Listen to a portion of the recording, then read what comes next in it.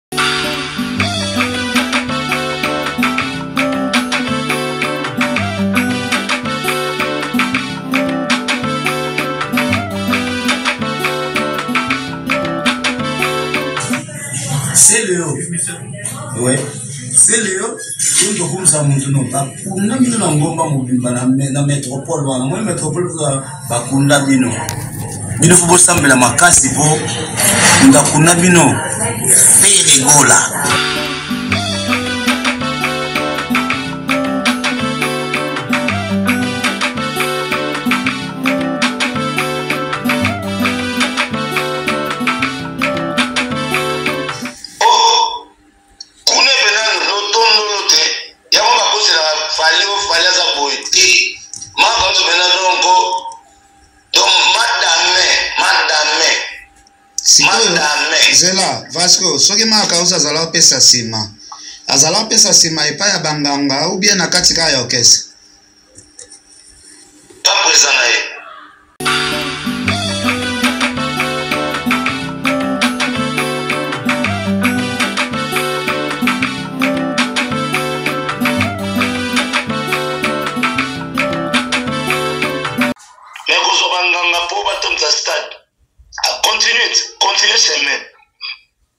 continue seme pesa ba calendrier beta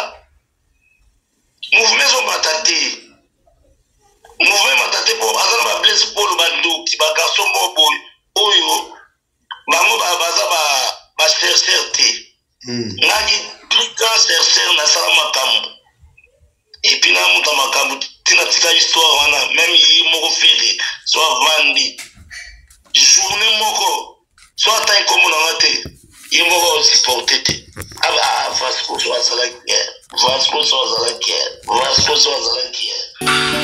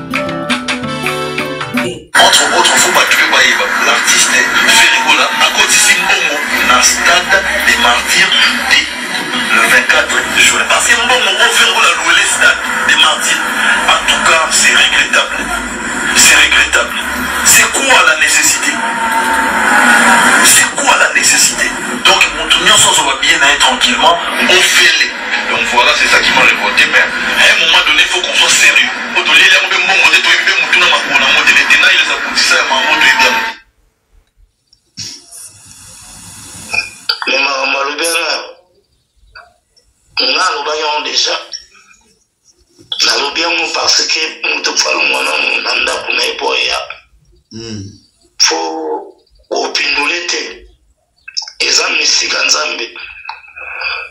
sikoyo bango basalami makambo wana na misika ya satan yango bakutani nango eza verite eza verite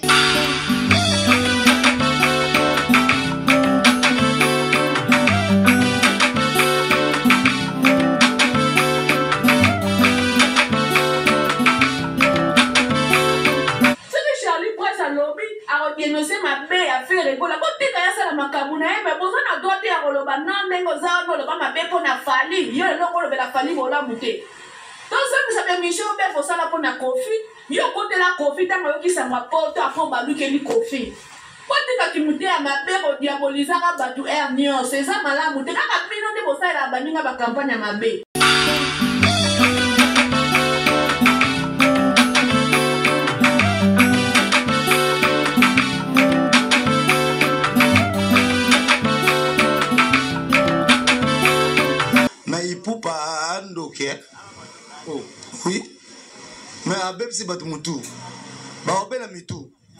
bakobeba mitu babi bakobela mitu biso ngai na biso bango vasco bakobeba mitu wana konsio na ngai ye te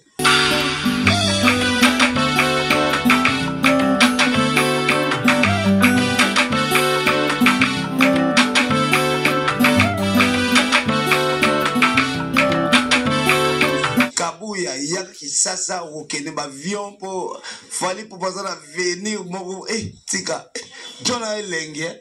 nakuti nanga pane te lelo oyo esikomi osala okumisa fali makasi bofasoma te nakumisi kaka mpo aza artiste na biso congolais aosala makambo bien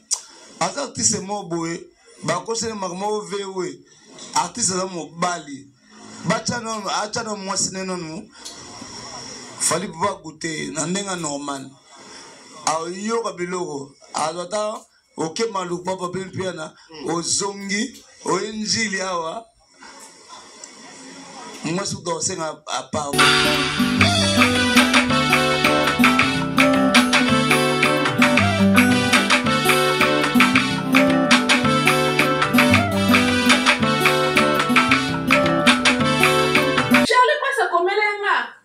bokomi kosala mpo na bato bakampagne ya mabe ma bobosani bino moko botambolaka na mwana oyo sara abebisa reputation ya famille ya fali ipupa botambolaka na ye sara auti kosala uh, nini banini ba, ba chantage mpo na staff afali ipupa te aza na baudio na bango akodevoile bango botika jamais kofungola bambanga na bino bolobela na sara botikala alobela sara aucun jour sara asalaka makambo mabe aza antivaleur na kati ya réseau sociaux soki abandi kosasa bato awa ah, boyokela moto wana ntina mawa me bino boza bacamarade ya sara sikoyo soki charli alobela fali mabe biso nyonso toyebiki alobela fali mabe e motu moko apesi charli confiance aza te me bino vi na bino ezala kaka so moto akomi olobela fali bien bato bakomi kolanda ye bokomi o oh, oh, boye na boye na boye bato bazo oblige fo balandaka bino Bwana Kindokia.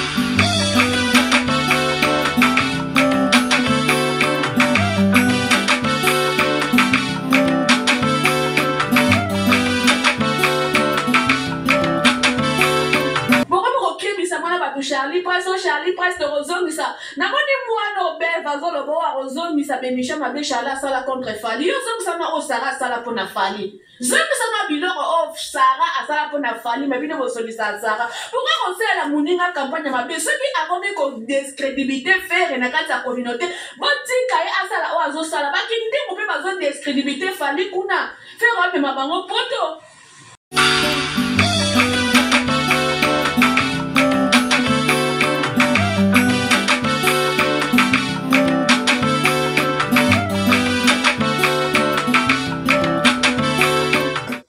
kotuna ngo mafere te eh, pardon anyokolanga mabe nanga nakufa oyebi yango eh? kotuna ngo mafere te ana ah, nango nani oyebi nani fere gola l'artiste de notre pays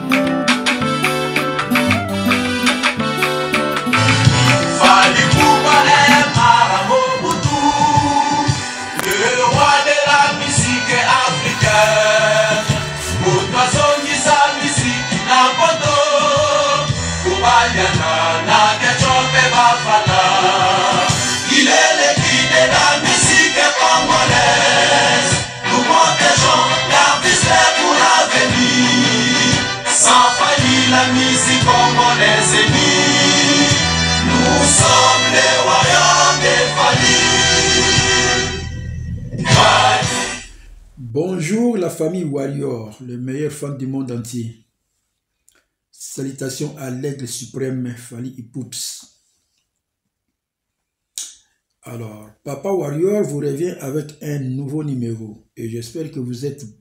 vous êtes déjà bien installé devant vos postes téléviseurs, vos smartphones, tablettes et que sais-je encore. Mais avant tout, je remercie tous mes abonnés et tous ceux qui me suivaient sur Free Caprice de Jerison, Là, je vois Rod Rodrigue de Zurich, toujours sapé comme jamais. Gillet Kabambi, la taille de l'homme, mannequin et warrior confirmé. JP Makoma de Wintertour, un Moussingombe qui se respecte, toujours meilleur. Et pourquoi pas à toi, Krissa M. Vemba,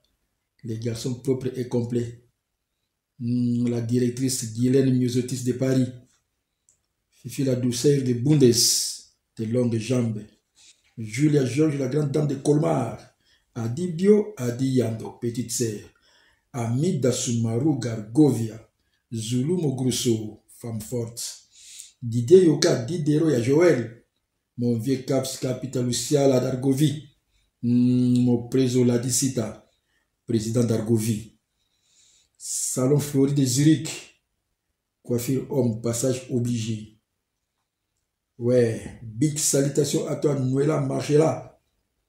Grand prêtre mère, toujours bien coiffé et bien habillé. Alors, Charlie Prince a commis la kimia. A remarqué Yemo qui suki na ye et commis kokola. Son seul souci est que alingi azala libre d'esprit Son seul souci est qu'il veut être sincère envers lui-même. Même si Fali alingi ye te ou akolinga ye te, ndenge bato bazoloba. Mais il préfère vivre avec un ennemi qu'avec une hypocrite. Donc hypocrite, il fait allusion à Ferry. Wana toyebi. Il en est de même ndenge Aigle alobaki entre un frère pardon, entre un traître et un ennemi il préfère un ennemi. Donc, traître na hypocrite, baza bandeko. Aujourd'hui, Charlie Prince décide de dire la vérité, rien que la vérité. D'abord, je vais vous rappeler quelque chose.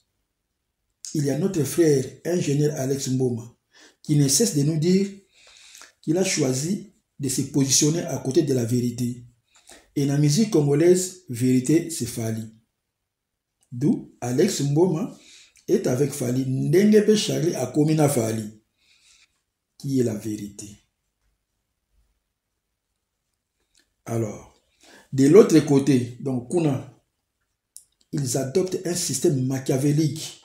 oyo esalaka ke motu te akoki kondima fali meme na baprouesse na ye bamakambo to azosala donc kuna idéologie eza nini déposer intelligence na yo na mabele lata médiocrité mpo okoka kodenigre fali mpo ozala capable ya koboya makambo fali asalaka notamment eyembeli ya fali kuna bayebi ke donc balobaka ke fali ayembaka mabe donc bayebi nango kayembaka bien mais mpo na kodenigre fali donc d'abord odepose no intelligence no mabele olati médiocrité ale oye fali ayembaka mabe baconcert ya fali etikalaka te fali bamerite na ye asombaka yango badisque ba, ba dore ya lokuta biso nyonso toyebi mais lelo oyo charlie aparvenir kolokota intelligence na ye puisque amoni ke trop c'est trop akoki kovieillir na lokuta te akoki kovieillir na buzoba te age epusani il a dû reprendre son bagage seuls les imbéciles qui ne changent pas d'avis dit-on Moi, ça me fait un grand plaisir komona bato ya, ya l'autre là bazozongela mayele na bango mpe bazosepela koloba verite mais cependant baoyo batikala kuna bakomi koyina mpe kosemprendre na baninga oyo baponi verite pourquoi tout simplement parce que bakodevoile manso ya buzoba na ya lokuta oyo eleka chez bango mpo hmm? baboya verite nous avons beaucoup de témoignages de la part ya bato oyo balongwa kuna sheferi Là, je citerai bato lokola Vasco Madiala, Serge Bouwala, Tangawisi. Lelo oyo Charlie mpe azwi position mosusu. Alors, tolanda quelques vidéos mais natie yango na version audio en commençant par Vasco Mabiala. Tokoyoka biloko oyo Vasco abimisa oyo ya kuna oyo epesa ba verite. tolanda omoni kofinga oyo napekisa maka oti combien de fois ozofinga macron deux fois deux fois mais yo moko toza deux fois deux fois epuis oza nini babenga yango nini babenga yango euh, euh, ah, yo dechappement makasi maka oti yo dechappement ozofinga oh, Ye aza 3 fois 6. 3 fois 6 Marc House. Ah bon? Oui. Nazo confirmer yo. Vieux Vasco azo confirmer hein, Marc House ye moko deux fois, deux fois, trois fois six. Alors les fous. Okay. azonga na chambre boye bana nio topiamba ke sacrifice na ye mwana mwasi ako molela nde bakaba wana mwasi na ye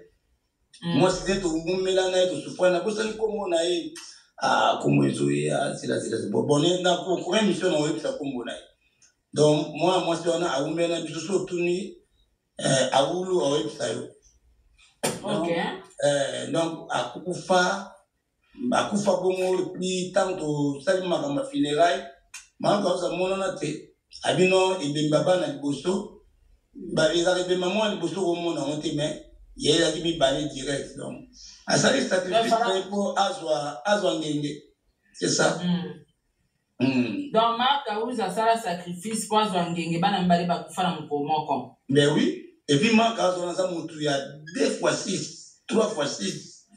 Donc Marc Aouza amuta donc boyolanda baobeta sete ke Marc Aouza afingaka bato ba 2 fois. Nalobi ya pourquoi bino bolingaka omoni ya balobi ya celui qui se sent piqué connaît la paire. Frère. Mm. Marc Aouza banda koloba makambo ya Fally banda kala o oh, vewe vewe. mais nga mona ki na kati orchestre nazomona so otali na orchestre na biso nde tozalaki wana tala bato mm. balingani mingi mark house nicolas ilunga kutu nde ato renouvele makambo auti mbujimai arenouvele makambo mpo ilunga akoalete meme teta tokende ya moscou yo mona ilunga akenda oui tolandi bongo euh, vasco mabiala toyiki biloko oyo abimisi mais Tresor Kongolo mpe abimisa mwa ndambo ya verite. Eza nango verite, mais lokola abimisaki wana ntango asilikaki, bato mosusu bakanisaka ke donc akosaki, mais verite wana avant kutu Tresor Kongolo aloba yango, si toyoka yango deja, et puis si tokonstataki ezalaki bongo. Donc voilà. tolanda sumu ya motu autrefois bato mpe bayeba l'artiste ferigola akotisi mbongo na stade de martyr te le 24 juin parce que mbongo oyo ferigola alouele stade de martyr en tout cas c'est regrettable c'est regrettable c'est quoi la nécessité c'est quoi la nécessité donc moto nyonso azoba biye na ye tranquillement ofele donc voilà c'est ça qui m'a révolté mais à un moment donné il faut qu'on soit sérieux Po tolieli yango pe mbongo te toyebi pe mutu na makolo na yango te les denials ya kotisa ya mango toyebi yango te ok alors mwasi warrior makambo nyonso charlie azoloba actuellement à l'encontre ya epai ya wuti ce sont des vérités véridiques nakondima yango puiske ntango charlie azalaki kodenigre fali malgré baprouesse na baeffort na ye de l'autre côté bazalaki dans la joie et charlie a changé de côté hmm. ebongo biso tosepela te hmm. les malheurs des uns font le bonheur des autres c'est bon non alors actuellement ça m'étonne koyoka ke certaines personnes baboyi charlie alobelaka fali dans les bons mais un moment donné nous congolais toyebaka mpe koréfléchir nous sommes sans ignorer oyo charlie asala na oyo aloba contre fali ndenge achange position eza mpe kaka mabe finalement congolais basala biso ndenge nini hmm? ou soit bozozela charlie asa genoye asenga bino pardon pendant ke ye moko aigle fali ipupa focus na boulot kakipaka kokolo oh. tozali bakongole toyebi oyo tozali likolo ya youtube congolais asala choix ya kofinga soki alingi kofinga to mpe ya kokumisa soki alingi kokumisa sur youtube tout le monde est libre or niveau fali akomi aza kaka mpo na bino te il appartient à tout le monde et nous devons nous mettre en tête que élévation eyaka kaka na bakomba mais tozomona on dirait tozomona te awa bozoboya charlie aloba makambo ya malamu ya fali donc ça vous, fait, ça vous faisait du bien pendant qu'il dénigrait fali et si c'est le cas alors autour de fali il y a que des hypocrites tosalisi ndenge nini namoni charli charli prince akomela nga bokoma osala banimero mabe bokomela yo yo charli prince biso groupe oyo toza soki baprefere ya fali awa kozwa place te nyonso nanga mpo charli soki azodenonse makambo ya fere basala na fere akomi kodenonse yango bokomi kolembisa ye atika koloba eza malamu te oyo eza c'est la sorcellerie c'est la sorcellerie Bana bisera ba courage hein. ah na YouTube eza kopa mutu tout. YouTube nde kolungwa te. Voilà, kolungwa nde YouTube te. Charlie pasa komela nga. Bokomi kosala mwana bato ba campagne ya mabe, ma bokosani bino moko botambolaka na mwana osara abebisa reputation ya famille ya fali ipupa botambolaka na esara auti kosala uh, nini banini ba, ba chantage pona staff ya Fally Ipupa te aza na ba audio na bango ako devoiler bango botika jamais kofongola ba mbanga na bino bolobela na Sarah botikala alobela Sarah aucun jour Sarah asalaka makambo mabe aza antivaleur na kati ya réseaux sociaux soki abandi kosasa bato a ah, boyokela moto wana ntina mawa me bino boza bacamarade ya Sarah sikoyo soki charli alobela fali mabe biso nyonso toyebi ke alobela fali mabe e motu moko apesi charli confiance aza te me bino vi na bino ezala kaka so moto akomi olobela fali bien bato bakomi kolanda ye bokomi o oh, oh, boye na boye na boye bato bazo oblige fo balanda kaka bino bwana kindoki Yango nga vraiment na decida nga na bando lobelaka fali na coin na nga. Oh soki eloko nini esalami basangisa ba ba soki ba youtubeur kote nini matambe na nga valere okende te nga arse fali abeta concert nasali planning na nga nakei na ndenge na nga soki nakuta na fali nakutai na ndenge na nga makita ya buzoba ya réseau sociaux plus jamais Et na kati ya réseaux sociaux na lobisaka camarade na nga Kiss na camarade na nga Alexis soki mpe un jour nzambe alobi tozala lisusu te natikali nga moko na kwe na nga mpo kindoki makambo ya réseaux sociaux bino omona yango na moi bokomi kokebisa mwana bato charlie prince o oh, charlie prince tokozongisa namoni mwana obeva azoloba oyo akozongisa bemisha mabe charlie asala contre fali yo ozongisa na oyo sara asala mpo na fali zongisa mwa biloko oyo oh, sara asala mpo na fali me bino bozongisa sara pourkoi kosalela moninga kampagne ya mabe soki akomi kodescredibilité fere na kati ya communauté botika ye asala oyo oh, azosala bakindimbu mpe bazodescredibilité fali kuna fere amema bango poto ah, bavirginie oh, mpe bazodescredibilité fali Ferre amela bango poto atambola na bango soki charlie prince alobi akodenonse mabe ya fere gola botika ye asala makambo na ye me boza na dwa te ya koloba na ndenge oza wana oloba mabe mpo na fali yo lelo kolobela fali bolamu te tozongisa bemission obe kosala mpo na kofi yo okotela kofi ntango oyokisango ya poto afo balukeli kofi botika kimute ya mabe kodiabolizaka bato r nyonso eza malamu te kaka bino nde bosalela baninga bakampagne ya mabe Charlie Prince ntango akomeli ngai nazalaki desi eza malamu te sikoyo bino boopekisa bato batala charlie te pourkui mpo bino boza banani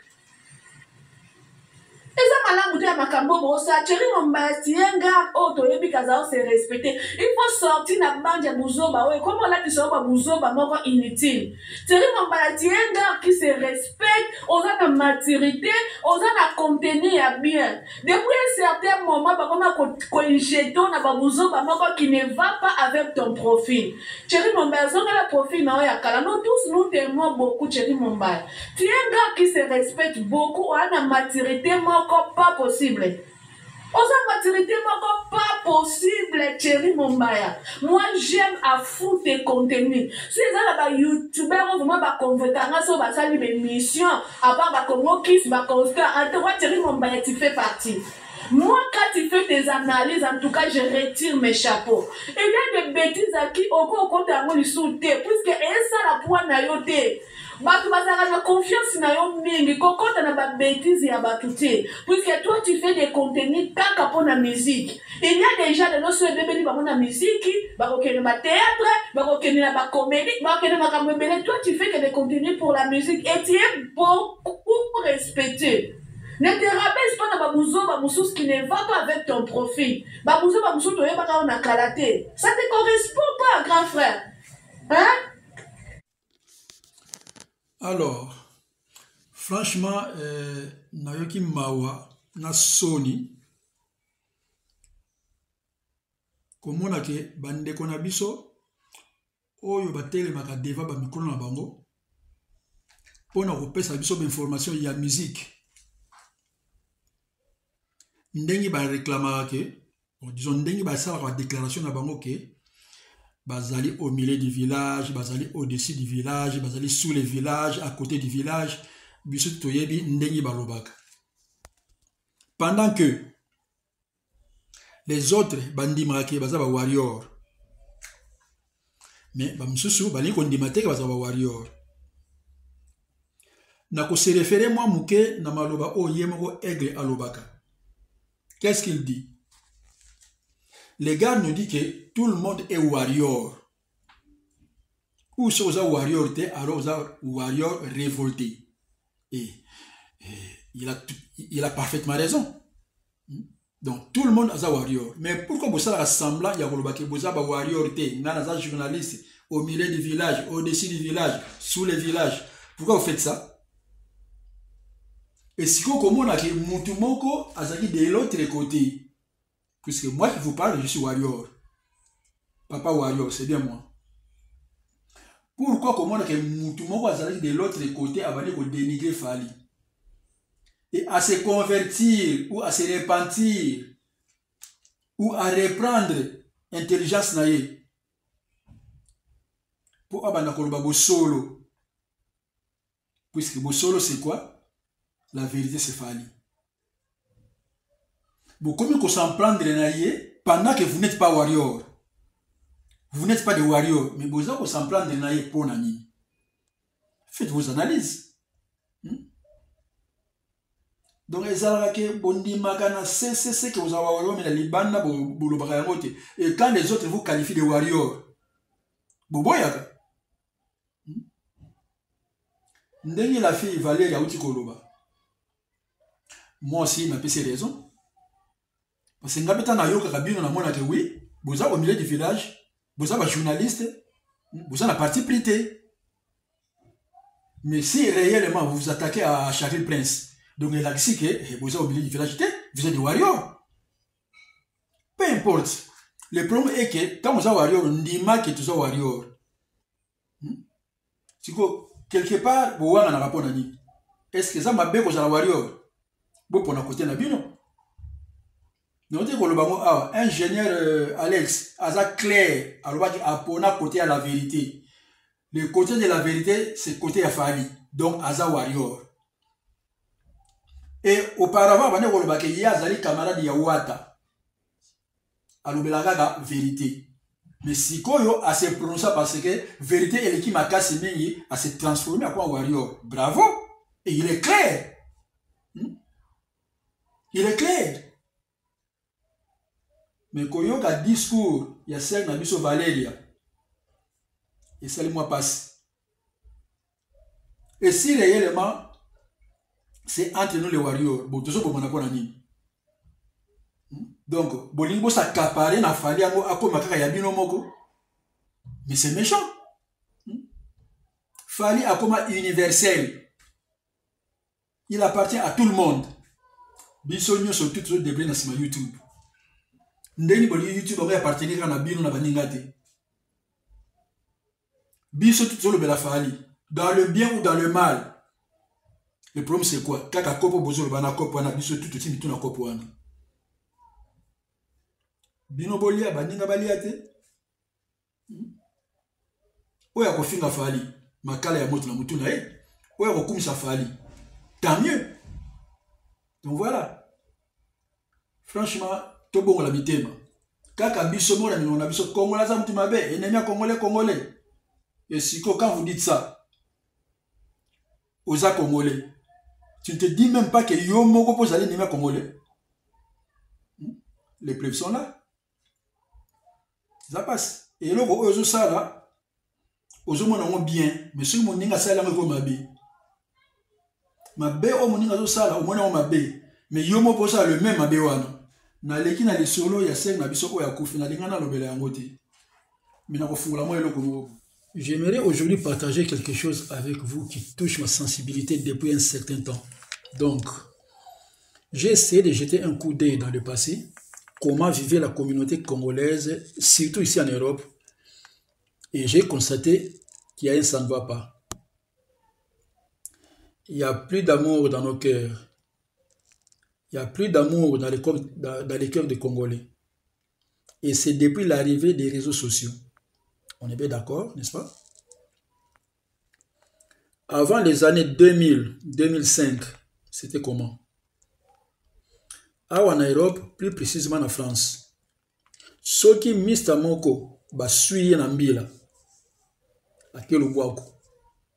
bato oyo baza na mboka donc na congo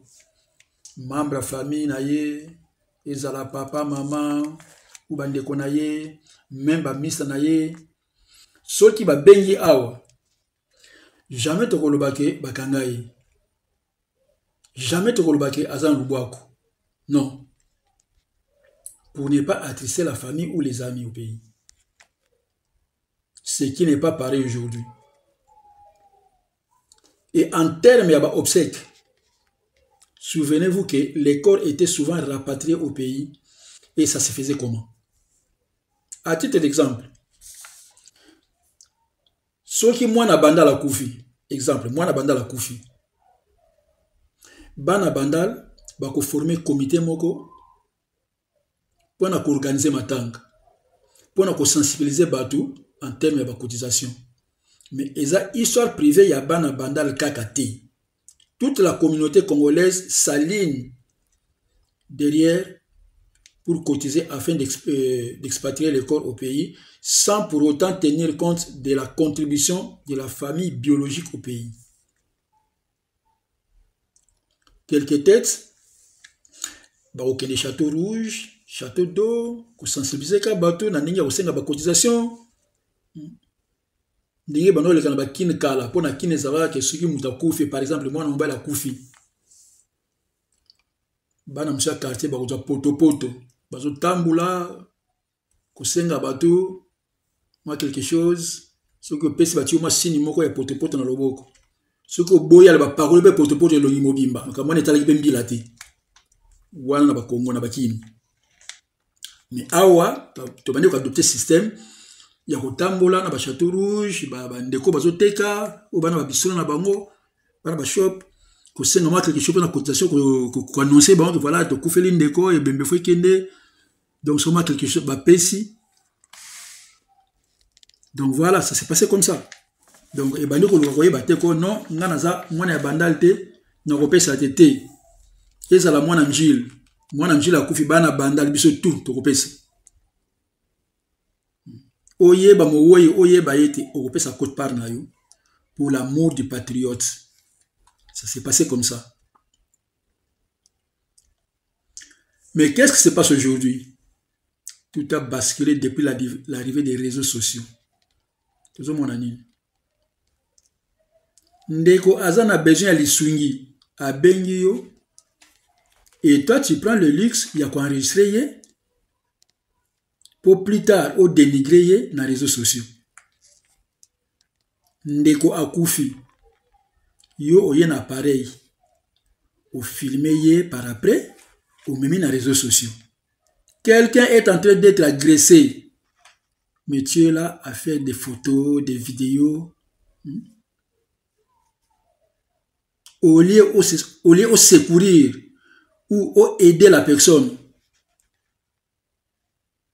yo ozwi le luxe ya kosala bavideo ya kosala bafoto eza mawa oyo asomno bolingo eke wapi lelo ekomi soki okufeli soki okufeli awa na poto yokami lelo mama denise mama na bana mama olive mama di mama na kala ezalaka bongo te toyelaka motu te na kala ezalaka tokose sensibiliser entre nous les, les, les, les, les congolais aujourd'hui c'est plus le cas mama denise mama di mama hmm? c'est la honte et pire encore tokomi na division ya kindoki puisque comédien nde akufi ekomi charge ya bacomédien et les autres se taise chate ya bacomédien esalami boza comédien te na chate wana okokota te e soki ekomi chroniqueur pareil ekomi nde histoire ya bachroniqueur na bachroniqueuse e les autres bakangi bapoche na bango etali bango mpe te bolingo ekeyi wapi Et ce qui est Kouéli, quelqu'un qui n'est ni comédien, ni chroniqueur, ni joueur. Donc, mawa trop. Les réseaux sociaux et l'homo libolingo na mitema à cause des vues, ba view. Kaka pona mbongo ya YouTube. Je ne crois pas que tokozongela les bonnes habitudes du passé. Je suis touché. Alors, nauti kolanda ba voice moko boye ya la personne oyo auti otika biso na kombo ya Rafi Ntumba. Rafi Ntumba, il paraîtrait que azalaki chroniqueuse, chroniqueuse.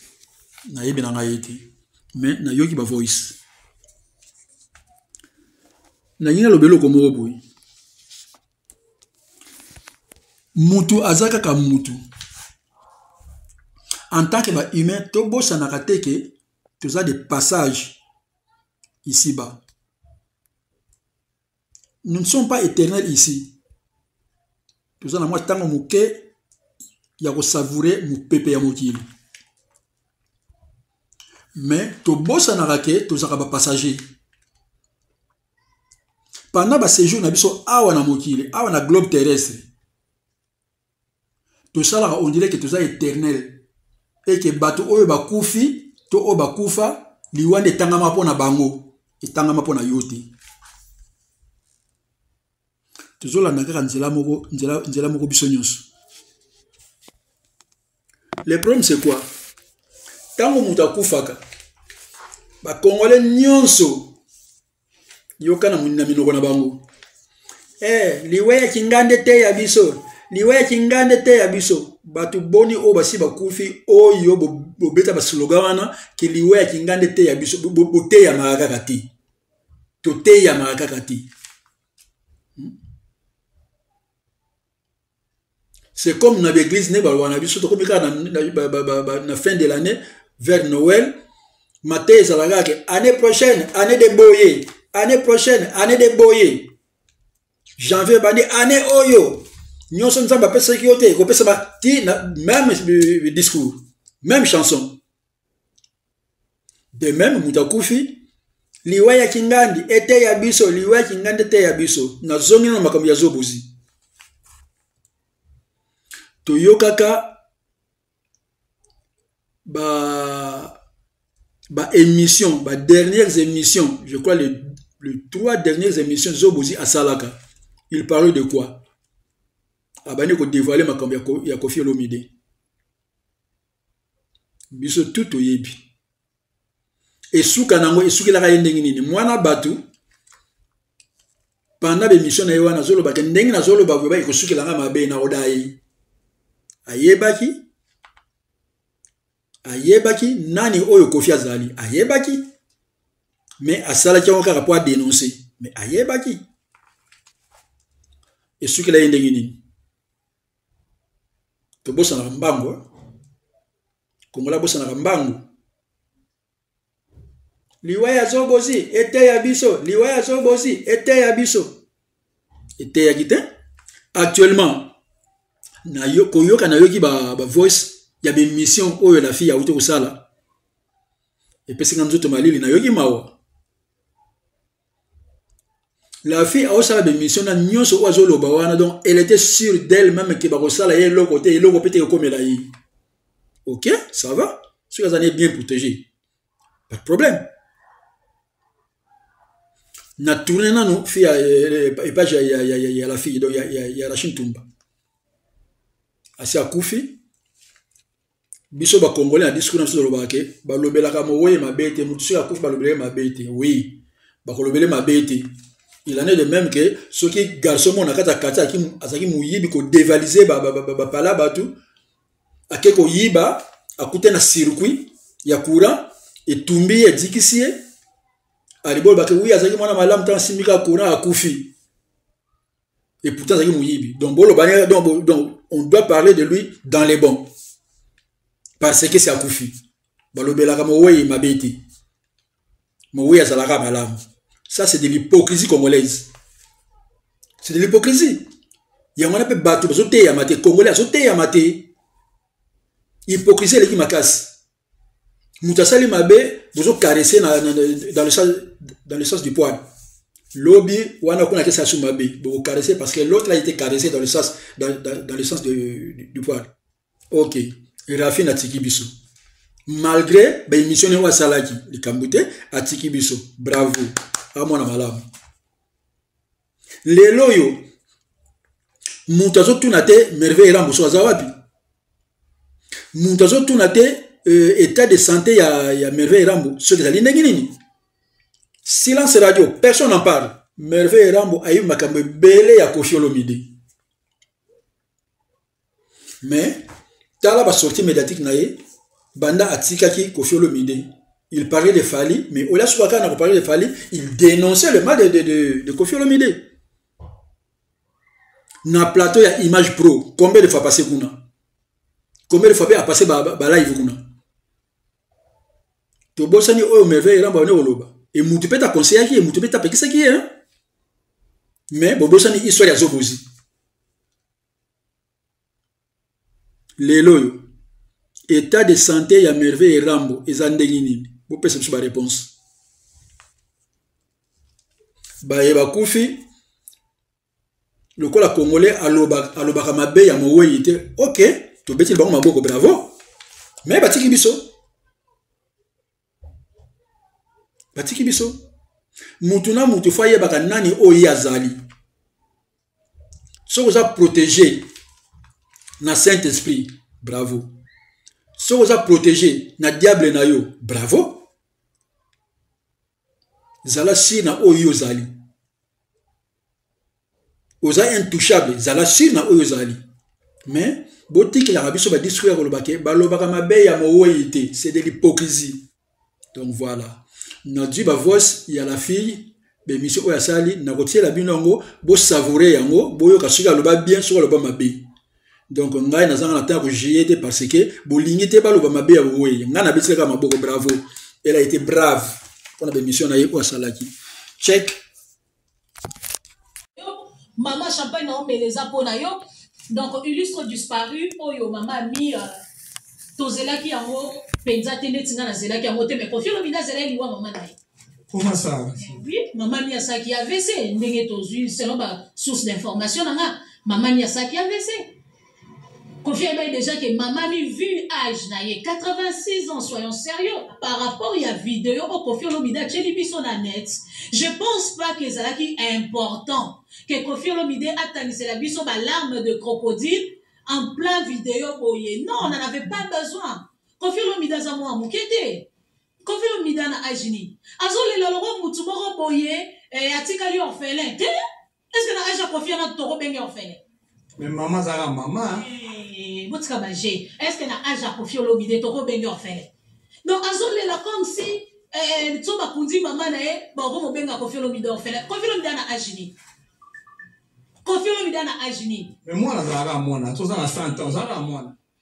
wana eza ba larme de crocodile yaya nga mpe naza na ba source d'information na ngai bato oyo mpe bapesi nga ba information que quoi que kofi olomide mama ni akufi na paris kofi olomide mama ni akufi na souci na ye soi disant mama ni akufi na souci na ye ok mama mi asalaki avc nautaki oloba ona ebandeli awa ke na biso peut-être toza surpris mama mi akufa mais peut-être ye moko kofelo midai bayeke mama mi fo akufa parce que mama mi asalaki avc information oziongo ah ben voilà e eh, mama mi asali avc mpo ni asali avc mpo na kofi olomide kofi olomide depuis bafongoleli ye nzela koya epope kofi olomide akutana na mama na ye te bolakisa biso bafoto na bavideo oyo kofi olomide depuis bafongolela ye nzela koya europe akenda boye yango na mamami bavanda na mamami nde tovandi na yango ce sont des larmes de crocodile tolobaka mpe verité tolobaka verité kofi alingi asala liwa ya mama na ye buzz ye aza permettre ngai aza déjà mopao koma osala bezi mpo na liwa mama mais attends mais attends mais attends mopao ça veut dire quoi eza dictionnaire aza deja moto oyo asala deja aza deja legende beta beta akenda kenda kombo deja emata akoma koluka base mpo na liwa mama mamami akufi oui depart ya ya ya ya être cher nyonso to azalaki pembeni no esalaka mpasi mais tokomisa yango mpesi te ngai nasepeli nde te na bezo kofi alingi asala na nsima mamami parce que atikali komona mamami te mamami akufi na susi na ye ok kofi olela comme si amonaki eloko moko boye grave kofi asosa ndeti na nayebi te ko alingi abimisa yango lokwela misesile na monoko mama mama mi matami esele mbaki mama mi mi misesile na monoko mama mi ando abimisa maloba bie lisute na monoko kofilo ndenge asalisa biso baaventure ezanga ntina mama miesi asaki avc mbanga etengamaki ok mama mi asaki deja avc mbanga etengamaki so otali mama mi osepela okanga ne selfi te d'accord mpo matama elalaki mbanga etengamaki poso nzoto elembaki kingo ediembeli mais attends allez-y vite comprendre bolinga bokomisa mama mi gravi bolinga bolatise soutani ya mama maria mais non c'est pas ça kofi olomidani asala buzz na nsima mama na ye non Euh, epidemi mwa elingi eya lisusu koleka coronavirus nkombo nango nini mama ami mpo akufi non moninga mema alobi mokili esarete mawa te vraiment esaretele wapi na liwa mama na ye soki kofi mpenza oza na liwa oza na susi ya liwa mama na ye soki efa aza na susi no ya baroki ya bamino ifo ozala na susi ya bana ya yo ye boya soki mpe mama mi azalaki mama malamu na poto ndenge afandaki boye kofi bien kaboya bana na ye wana mpo ani mama mi azwa bango te euh, le temps s'est arrêté euh, j'ai perdu ma maman hmm, azotangisa bama misu hmm, mais non soyons sérieux wana eza balarme de crocodile l'artiste kofi olomide des fois azalaka na bapression des fois azalaka na bastress des fois azalaka na ba, ba, bon ekozwa mpe problème na motu donc euh, soki mpaki omona médecin eza nango mpe mabe te je pense pas que ezalaki important ke kofi olomide atangisela biso balarme de crocodile en plein video boye non on en avait pas besoin kofi olomide aza mwa moke te kofi olomide ana age nini azolela loko motu moko boye eh, atikali orphelin te est ce que na age ya kofi ana tokobenge orphelin wana eza balarme de crocodile yaya nga mpe naza na basource d'information na ngai bato oyo mpe bapesi nga bainformation que quoi que kofi olomide mama mi akufi na paris kofi olomide mama mi akufi na souci na ye soit disant